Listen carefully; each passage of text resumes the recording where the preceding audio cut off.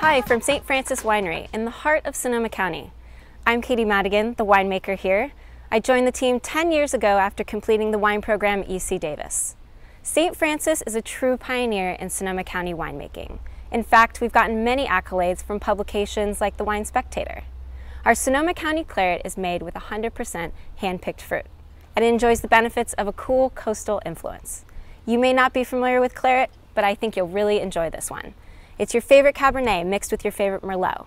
It's a blend, easy drinking and very approachable. You may also find it to be a little bit lighter than some of our other reds, so enjoy it with spicier foods, Mediterranean, or a nice meat and cheese platter with your friends. You may also think that whites are the only wine that can be chilled, but I like to pop this wine in the fridge for about five minutes before opening it. I hope you enjoy our St. Francis Sonoma County Claret, and when you do, savor the taste of Sonoma. Cheers!